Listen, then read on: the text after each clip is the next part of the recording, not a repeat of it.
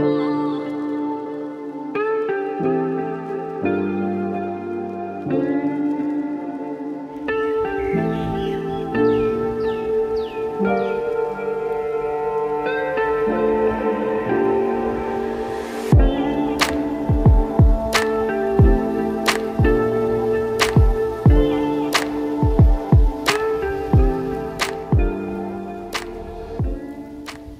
ඉතින් දැන් අපි ඉන්නේ අබේගිරියේ. ඉතින් අබේගිරි විහාරස්ථානය කරලා තියෙන්නේ වලගම්බා රජතුමා.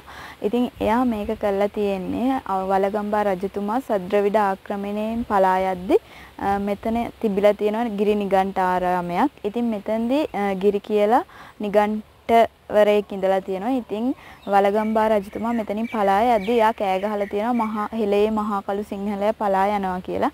ඉතින් ඒක වලගම්බා රජතුමාගේ හිතේ තිබිලා තියෙනවා. ඉතින් එයා රාජ්‍යත්වයට පත් වුණාම ගිරි කියන ඒ නිගණ්ඨයව මරා දාලා මෙතන මේ ගිරි අභයගිරිය විහාරස්ථානය ඉදි කරලා තියෙනවා. ඉතින් එයා වලගම්බා එයාගේ නමේ කොටසකුත් ගිරිනිගණ්ඨයාගේ නමේ කොටසකුත් යොදලා තමා මෙතන අභයගිරිය කියලා නම් කරලා තියෙන්නේ. ඉතින් මේකත් අනිත් විහාරස්ථානයක් වගේම සම්පූර්ණ අංග සම්පූර්ණ විහාරයක කොටස් තියෙනවා. ඉතින් මෙතනත් හරි ලස්සනයි. මෙතන මේ බෝගහයට හරිම සිසිලසයි. ඉතින් එතන ඒ හින්දා අපි මෙතන පොඩ්ඩක් නතර වුණා.